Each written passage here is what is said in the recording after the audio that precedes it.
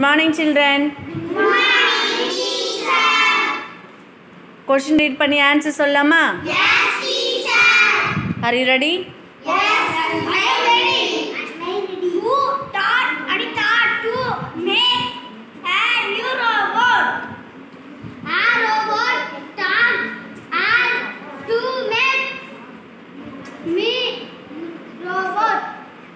new robots New robot. With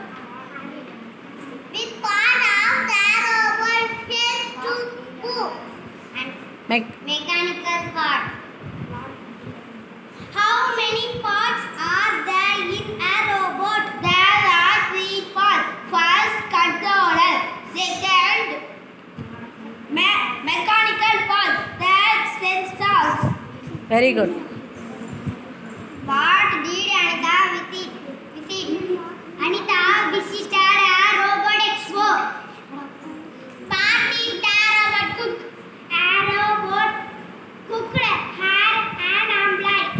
Very good.